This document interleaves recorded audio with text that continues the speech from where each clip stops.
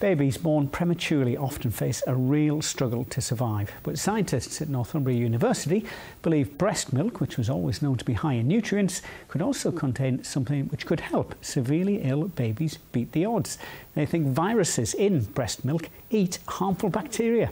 This report from our news correspondent Mark Denton.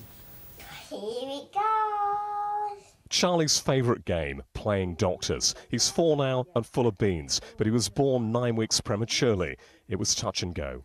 To see your, your baby and he's just covered in wires in, in an incubator, um, you can't just go and hold him and he's just fight, fighting for his life really. It's, it's really hard. We, we said goodbye to him and just half expected ne never to see him again. Like Charlie, around 40% of premature babies develop either serious bowel disease or a blood infection. Of course, modern medical skill helped Charlie survive, but he could also have been helped by something in his mother's milk. This is a phage. It may look like an alien.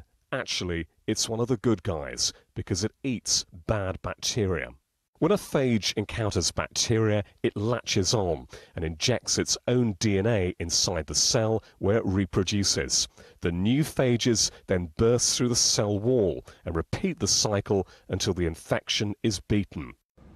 Scientists at Northumbria University and the Great North Children's Hospital think phages could be in breast milk and their immune boosting properties particularly benefit premature babies. When we're looking after babies that are born very early, some of them develop this devastating bowel disease and we think that that's associated with the particular patterns of bacteria that babies carry and that some patterns allow babies to stay healthy and other patterns allow babies to become unwell. And different phages could protect different premature babies because there are plenty to choose from. 10 million trillion trillion of them. That's more than all the other organisms in the world put together.